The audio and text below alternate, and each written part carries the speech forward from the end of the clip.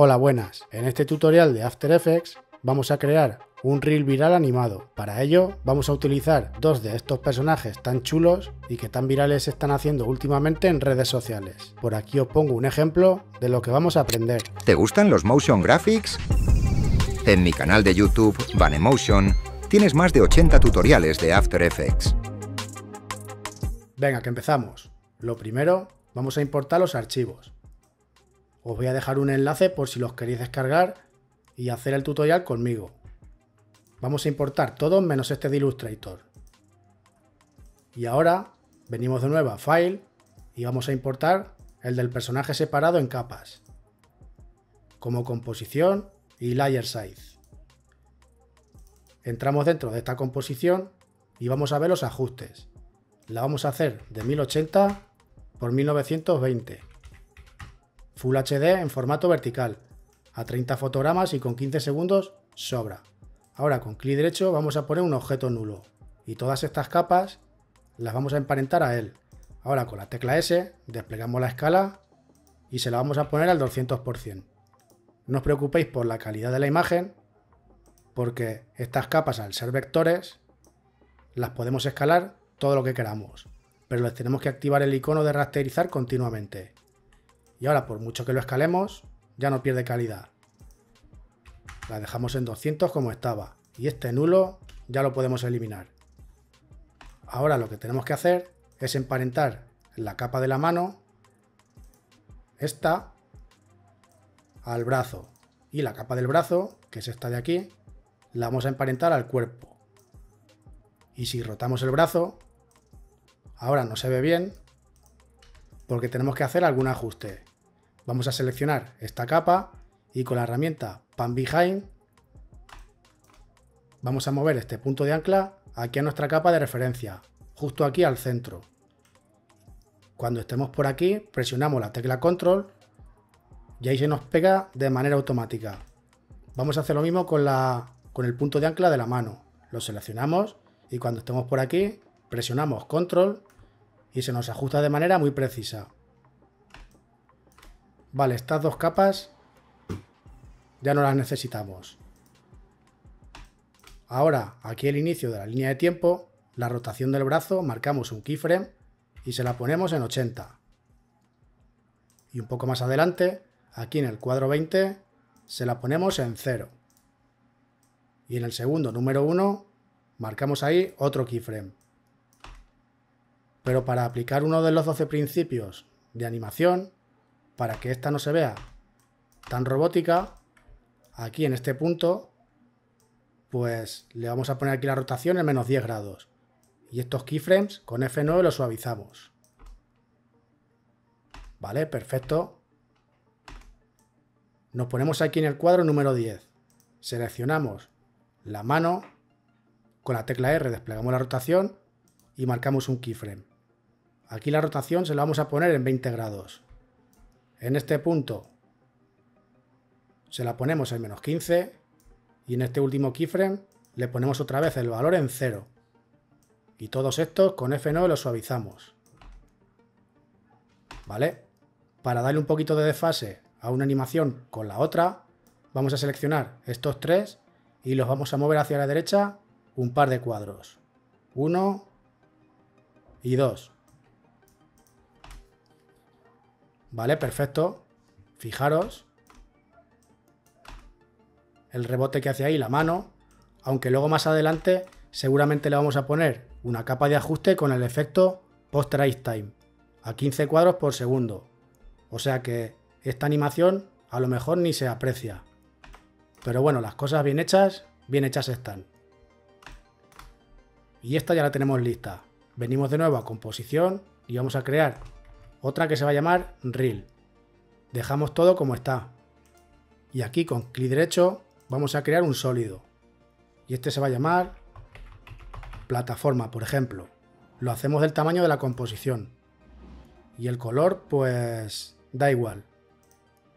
Digo que da igual porque le vamos a poner un efecto que se llama gradient ramp o gradación de degradado si tenéis el After Effects en español.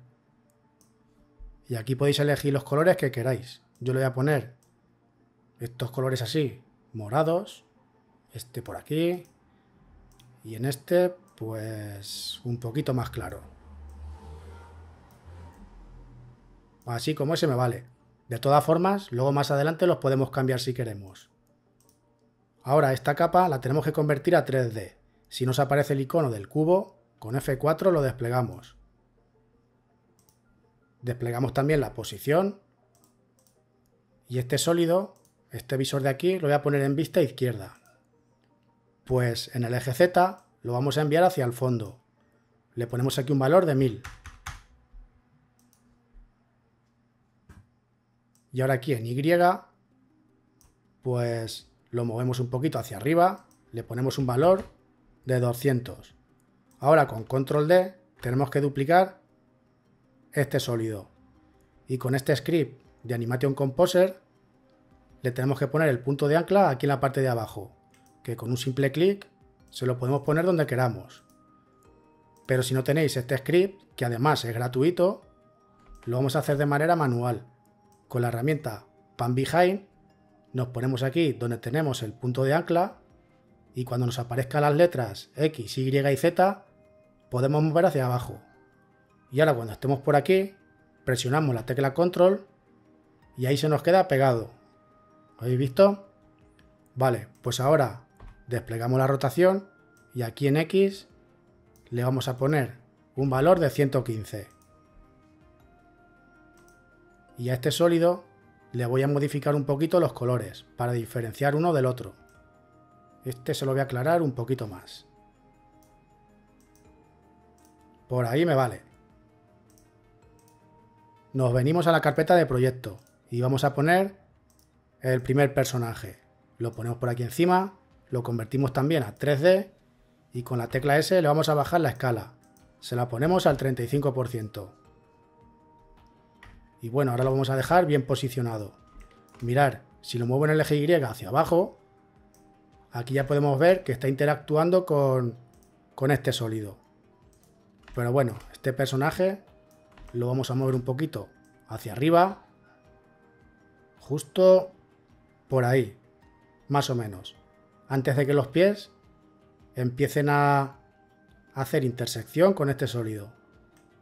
Más o menos por ahí. Si queréis ver la posición es esta. 540, 1020 en el eje Y y 0 en Z.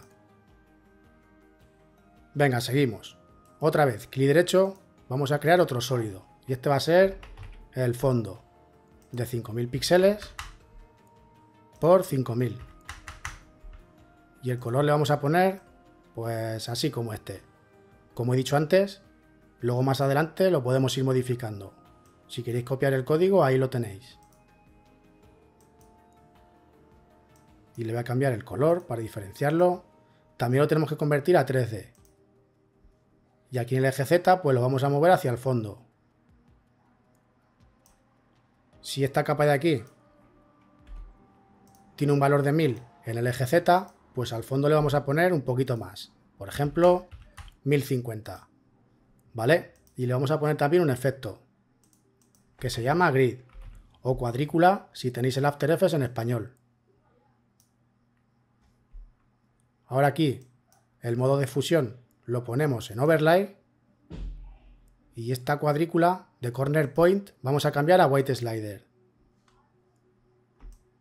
Y los cuadros pues los vamos a hacer un poquito más grandes. Le ponemos aquí un valor de 140. Vale, por ahí me vale. Ahora vamos a crear el primer texto. Aquí vamos a poner, bueno, cada uno lo que quiera.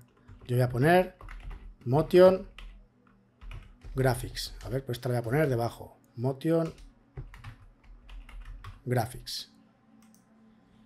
Le centro el punto de ancla con Control Alt y la tecla inicio. Y también con Control inicio centramos el texto aquí a la mesa de trabajo. Lo hacemos un poco más grande. Por ahí nos puede valer y lo convertimos también a 3D. Y este texto lo tenemos que poner aquí en esta parte del sólido. Lo movemos en el eje Z hacia el fondo. Y bueno, si hemos dicho que estaba a un valor de 1000 píxeles, pues el texto igual. Le vamos a poner el eje Z 1000. para que se quede justo a la misma profundidad. Lo que pasa lo vamos a subir por ahí y ayudándonos con los márgenes de seguridad, pues lo vamos a escalar un poquito. Más o menos lo dejamos por ahí. La fuente que estoy utilizando se llama Bebas Neue, en su variante regular, pero podéis utilizar la que queráis. Venga, seguimos. Ahora con clic derecho vamos a crear una cámara. Y esta va a ser de 50 milímetros y de dos nodos, por ejemplo. Y otra vez, clic derecho, vamos a poner un objeto nulo. Lo convertimos a 3D y la cámara la empanetamos a él. Ahora, estando aquí al inicio de la línea de tiempo, desplegamos la posición y marcamos un keyframe. Y nos movemos hasta el segundo 3. Y aquí, pues, vamos a hacer un poquito de zoom. Le ponemos aquí en Z un valor de 520. Y aquí lo vamos a bajar un poquito. Le ponemos en Y 810. Y estos dos keyframes con F9 los suavizamos. Y le vamos a dar de esta forma la curva. Este manejador lo vamos a subir un poquito hacia arriba y hacia la izquierda del todo. Y este igual, hacia la izquierda del todo. Y con esto pues tenemos una animación muy básica. Vale, seguimos. Nos ponemos justo aquí en este keyframe. Con control D duplicamos el nulo y con la tecla U desplegamos los keyframes. Y haciendo clic en el reloj, estos que tenemos aquí los eliminamos. Y ahora vamos a marcar uno nuevo. Y nos vamos a poner en el cuadro número 25, por ahí. Y este keyframe en esta parte. Ahora nos vamos a mover hasta el 320. Como digo otras veces, le pongo estos valores porque después de haber estado haciendo algunas pruebas, son los que mejor me han funcionado. Bueno, aquí en esta parte tenemos que emparentar el nulo 2 al nuevo. Y aquí, con mayúscula o shift presionada, pulsamos también la tecla R y marcamos un keyframe en rotación Z. Y este lo vamos a poner justo debajo del de la posición. Y aquí en esta parte pues ya podemos empezar a animarlo. Aquí le vamos a poner 90 grados. Y si seleccionamos el, el nulo que tenemos aquí, si nos ponemos justo en el centro del nulo, podemos mover todos los elementos al mismo tiempo hacia donde queramos. Los vamos a poner por ahí. Pero bueno, si os hacéis un lío con esto, le vamos a poner los valores exactos. Aquí le vamos a poner 1575. En Y le vamos a poner 2045 y aquí en Z 260.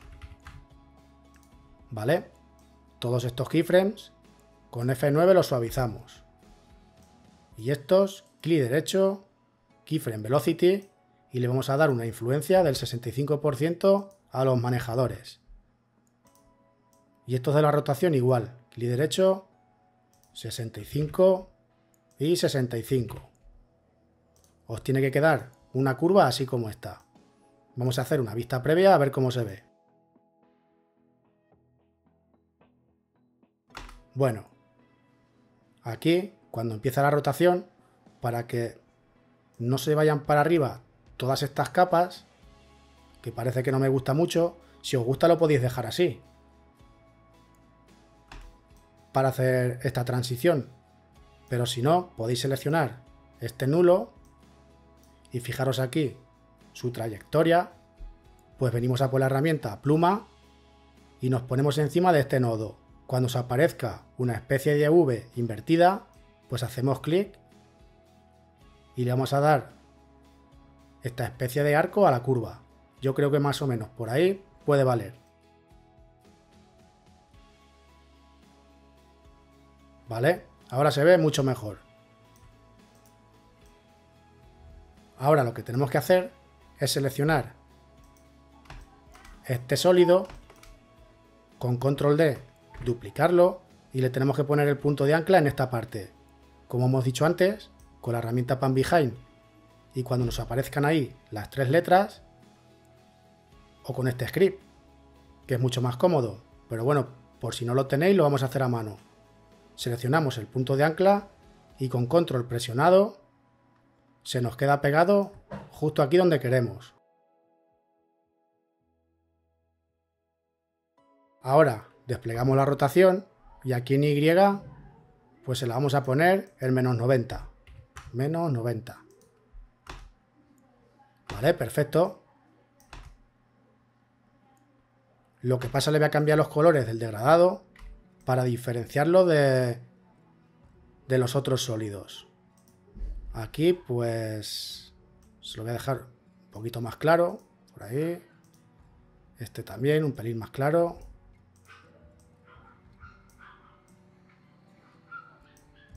Y este quizá un poco más oscuro. Por ahí. Y este manejador lo voy a mover un poquito hacia adentro. A ver qué tal se ve.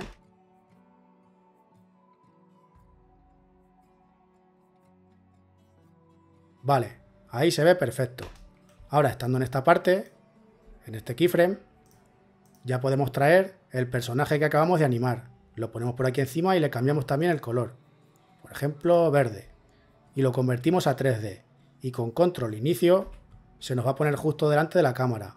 Ahora lo tenemos que poner en vertical, con mayúscula o shift presionada, aquí en el eje Z, fijaros, que nos mueve de 5 en 5 grados. Pues le vamos a poner 90 grados para que se quede totalmente en vertical. Y la escala se la vamos a poner en 70. Ahora lo que tenemos que hacer es lo mismo que hemos hecho antes. Tenemos que mover este personaje hacia arriba para que no se le corten aquí las piernas con este sólido. Bueno, pues lo seleccionamos y vamos ajustando por ahí. Yo creo que ahí está perfecto. Desplegamos la posición. Aquí le ponemos 1630 para que el valor sea exacto y también lo vamos a mover un poquito hacia la derecha. Aquí le vamos a poner un valor de 2270. Vale, perfecto. A ver qué tal se ve. Venga, que vamos bien. Nos ponemos en esta parte, seleccionamos este nulo, control D lo duplicamos, tecla U y estos dos keyframes los eliminamos y marcamos uno en posición.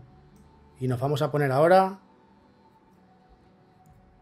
en el cuadro 208, por ahí. Y este keyframe lo traemos hasta aquí. Y ahora nos movemos hasta el segundo número 6 y vamos a animar el eje Y de esta manera. Bueno, antes de animarlo, acordaros de que tenéis que emparentar el nulo anterior al nuevo. Ahora sí, ya podemos animarlo. Aquí le vamos a poner un valor de 3560. Y estos dos, con F9 los suavizamos y le vamos a dar una velocidad a los manejadores del 60%. 60, 65, por ahí. Vale, perfecto. A ver qué tal se ve. Venga, que vamos bien. No os preocupéis por todo este espacio que se ve aquí, porque a este sólido, bueno, lo vamos a hacer ahora. Y así ya no se nos olvida. Le vamos a poner un efecto que se llama CC Repetile. Y le vamos a expandir los píxeles para cubrir todas estas zonas que están vacías. Le ponemos, por ejemplo, 2000, entre 1500 y 2000, por ahí. Vale. No lo ponemos en un fall ni nada. Lo dejamos así en repeat como está.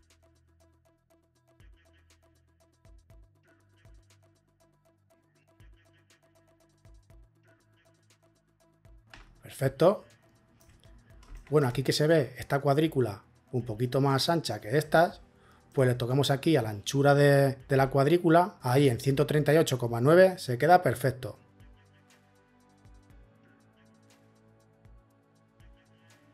Ahora lo que tenemos que hacer es seleccionar este texto, con control D lo duplicamos y estando en este punto, control inicio y se nos pone aquí justo delante de la cámara. Pero tenemos que hacerlo de antes. Tecla Shift o mayúscula presionada y le ponemos la rotación en 90 grados para que se nos quede en horizontal. Y lo vamos a poner pues por aquí arriba, más o menos, un poco más pequeño. A ver qué tal se ve ahí.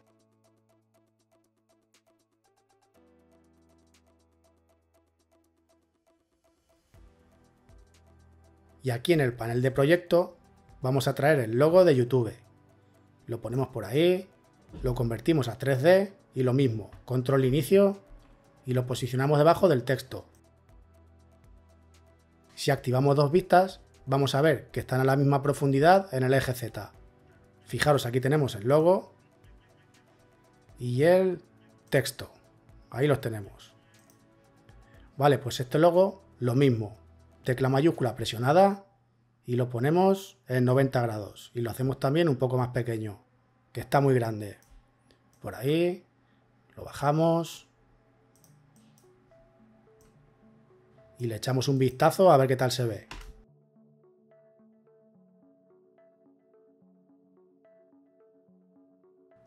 Venga, esto se ve perfecto. Vamos a crear otro nulo para hacer un último movimiento. Seleccionamos este, con control D lo duplicamos, tecla U y le eliminamos los keyframes. Y nos vamos a poner en el cuadro 422, por ahí. Ahí marcamos uno en posición y nos vamos a ir hasta el segundo 7. Y acordaros de emparentar el anterior a este nuevo. Ahora aquí, en el eje Z, pues le vamos a poner un valor de menos 2000. Y aquí en el eje X, pues lo vamos a subir hacia arriba. Le ponemos un valor de 435. Vale, y para que la animación no se quede clavada al llegar a este keyframe, fijaros, vamos a hacer lo siguiente. Seleccionamos este último y lo vamos a mover un poquito hacia la derecha, Fijaros que cuando lo muevo, aquí me cambian los valores. Cuando en este valor de z aproximadamente ponga menos 1900, por ahí, no hace falta que sea exacto, pues por ahí vamos a dejar este keyframe. Mirar, lo voy moviendo hacia la derecha, por ahí más o menos voy a marcar otro keyframe. Y este ya lo podemos poner aquí en el segundo 9. Seleccionamos los tres, con F9 los suavizamos y vamos aquí al editor para darle un poquito de forma a la curva. Aquí en este hacemos doble clic y activamos la casilla de continuo. Le damos a OK y le vamos a dar esta forma. Volvemos a hacer doble clic y aquí le vamos a poner una influencia del 70%. Y en este igual, doble clic y le ponemos aquí 70%. Y así en lugar de quedar separada la animación al llegar a este punto, pues todavía se está echando hacia atrás, pero cada vez más despacio.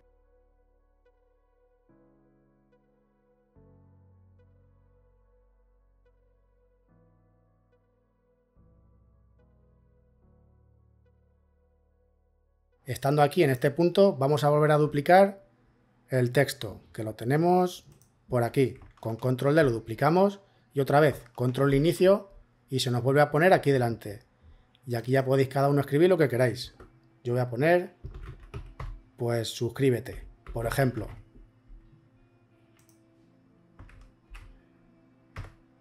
Y este texto lo voy a bajar un poquito, por ahí, más o menos. Poco más pequeño. Y fijaros cómo entra ahí en escena, que la verdad es que queda genial.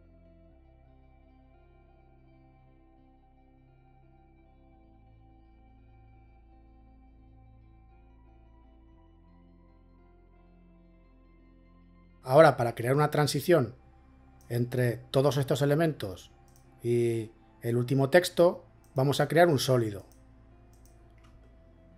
Del tamaño de la composición y el color, pues casi negro. Un gris bastante oscuro. Y aquí le podemos cambiar el nombre, si queremos. Le ponemos transición.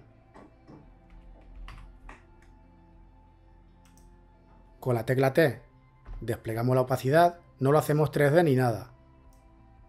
Y se la ponemos en cero. Y ahora nos movemos aquí más o menos al 520. Vamos a desplegar los keyframes de este nulo, que es más o menos entre la mitad de estos dos, pues ahí marcamos un keyframe en la opacidad. Y un poco más adelante, aquí en el 610, pues ya se la ponemos en 100. Y estos dos keyframes con F9 los suavizamos. Lo que vamos a hacer es el último texto, que es este de suscríbete, lo vamos a poner por aquí encima. Y ahora vamos a ver qué tal queda esta transición.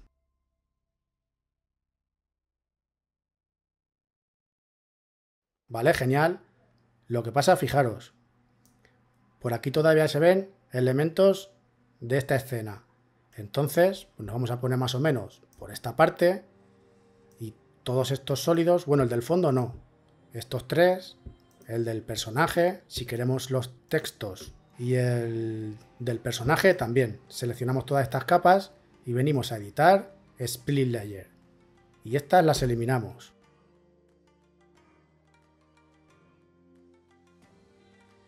¿Vale? Y ahora ya no se ven. Ahora tengo que cambiar este texto. Aquí a poner Bane Motion. Por ejemplo. Perfecto. Otra cosa que tenemos que corregir, fijaros aquí, este sólido, que aquí tenemos un espacio que no está cubierto, pues como tenemos el punto de ancla puesto ahí en esa parte, pues movemos de aquí mismamente y cubrimos toda esa zona. Vale, genial.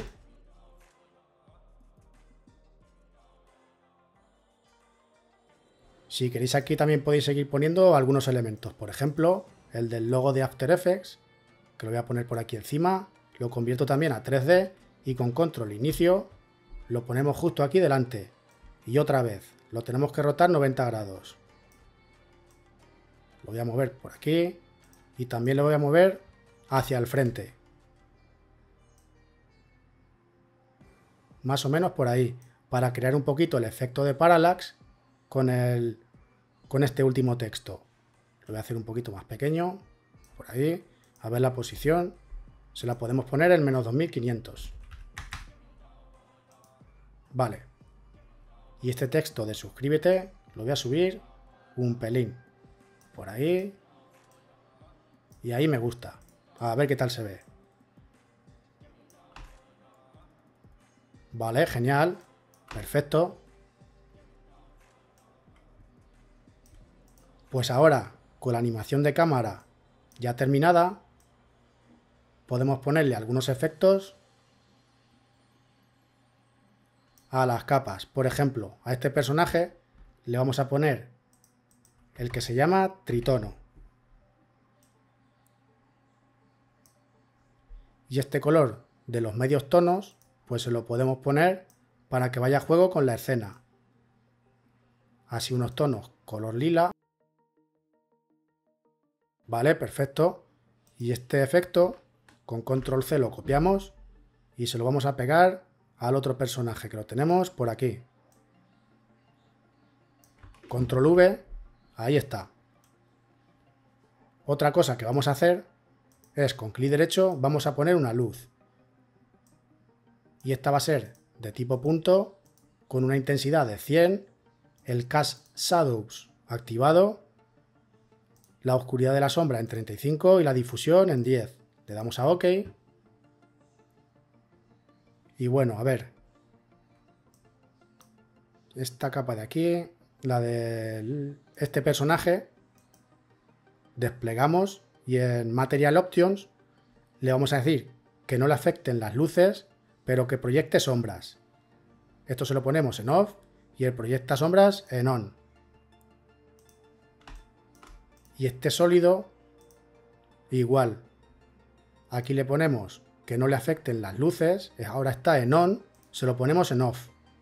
Y que acepte sombras, ya lo tiene, así que no tenemos que tocar nada más.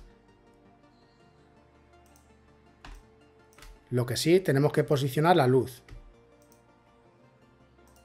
Vamos a activar dos vistas y esta luz, pues la vamos a poner.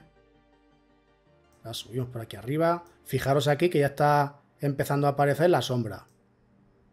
Pero bueno, si os liáis con el espacio este 3D, pues le vamos a poner los valores exactos. Desplegamos la posición y aquí le vamos a poner 3205. En el eje Y le ponemos un valor de 1810 y ahora en Z le vamos a poner 1075. Vale, perfecto. Fijaros aquí la sombra del personaje, que la verdad es que se ve bastante bien.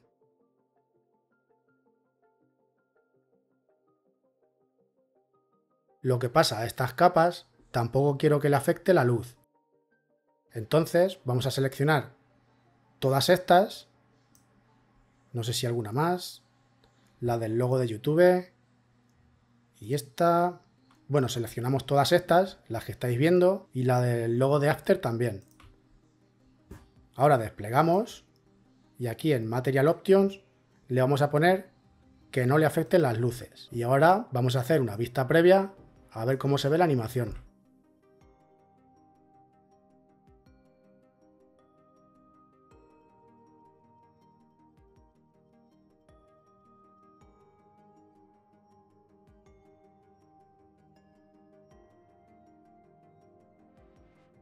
Bueno, pues esto se ve espectacular. Y además, esta transición, la verdad es que queda muy chula. Ahora con control A seleccionamos todas las capas y les activamos el desenfoque de movimiento. Bueno, pero a todas no. A los nulos no es necesario. Bien, lo siguiente que vamos a hacer.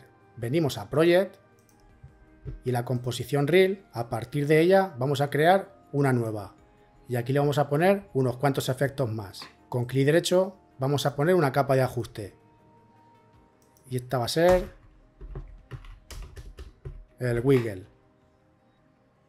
Le vamos a poner el efecto que se llama transform. O transformar si tenéis el After Effects en español. Se lo ponemos por ahí. Aquí le vamos a aumentar la escala. Se la ponemos en 101.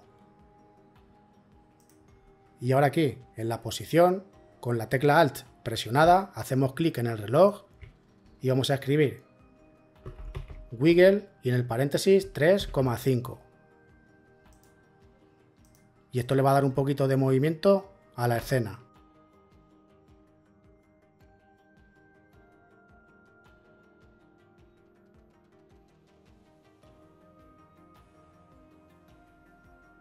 Otra vez, con clic derecho vamos a crear otra capa de ajuste y esta se va a llamar exposición, que le vamos a poner el efecto que lleva ese nombre. Exposure. Exposición si lo tenéis en español. Y aquí la exposición, pues se la vamos a aumentar, por ejemplo, a 1,5.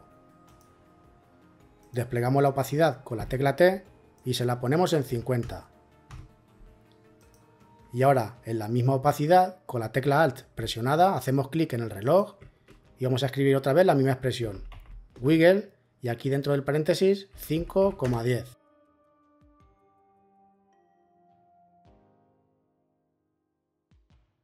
Esto lo que va a hacer va a ser como una especie de flicker que se va a estar repitiendo todo el tiempo que dura la composición, que la verdad es que queda bastante chulo. Venga, seguimos. Nuevo, capa de ajuste, y esta se va a llamar Posterize Time. Y le vamos a poner ese efecto.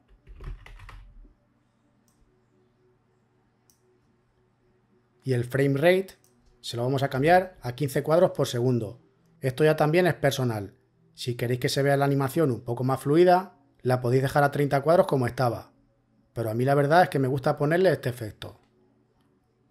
Venga, y le vamos a poner otro más. Clic derecho, nuevo capa de ajuste. Y esta va a ser el glow. Yo le voy a poner el, el plugin este de pago que se llama Dick Glow. Pero bueno, le podéis poner el glow que viene por defecto en After Effects, que también se ve bastante bien. Y aquí pues se lo voy a bajar a 200. Y la exposición se la voy a poner en 0,5. Por ahí me vale. De nuevo, clic derecho, capa de ajuste. Y esta va a ser la aberración.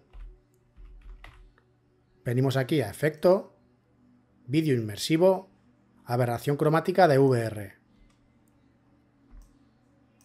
Y le vamos a dar este efecto de RGB, pero le vamos a tocar aquí algunos ajustes para que no se vea tan intenso. Aquí cambiamos a Stereoscopic y la aberración azul no quiero que se vea, se la voy a poner en cero. Y ahora la roja se la voy a dejar en menos 5 y el fall of distance se lo pongo en cero.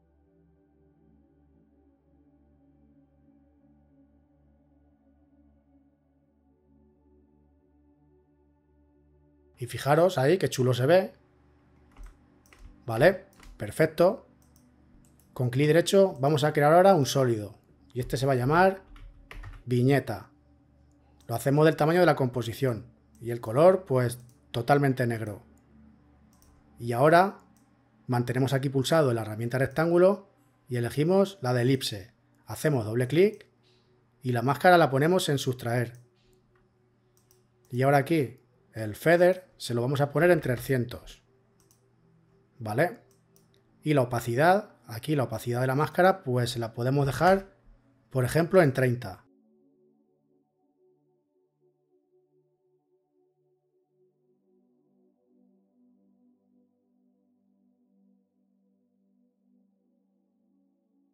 Vamos a poner otro efecto, nuevo, sólido, y este va a ser el grano.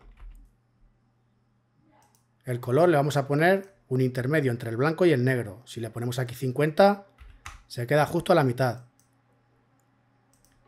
Y le vamos a poner el que se llama Add Grind o añadir granulado si tenéis el After Effects en español. Aquí cambiamos a Final Output. Aquí podemos elegir el presets que queráis. Podéis ir probando a ver cuál os gusta. La intensidad del grano se la voy a bajar un poquito. 0,4 por ahí. El color monocromo. Y la animación se la voy a dejar en cero. Ahora este sólido, si nos aparecen los modos de fusión, con F4 los desplegamos. Lo vamos a poner en modo overlay o superponer. Que la verdad es que le da un toque bastante chulo. Por último, podemos venir aquí al panel de proyecto y para tener más profundidad de color y que los degradados se vean mucho más suaves, con la tecla Alt presionada, hacemos aquí clic en el 8 bits por channel y cambiamos a 16. Y por último, le vamos a poner también un efecto de película antigua que os lo voy a dejar también en la descripción para que lo podáis descargar directamente desde FreePic. Lo pasamos por aquí encima, con la tecla R lo rotamos 90 grados y ahora el modo de fusión lo vamos a poner en multiplicar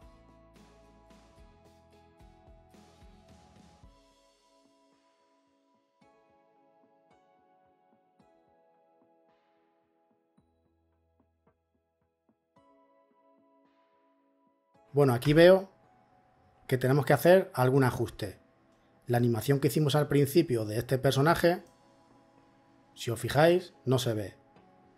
Bueno, pues más o menos por esta parte, más o menos en el segundo 3, venimos al personaje Layers y todos estos keyframes pues los vamos a poner en esa parte. Y ahora sí, ya tenemos la animación terminada y funcionando perfectamente.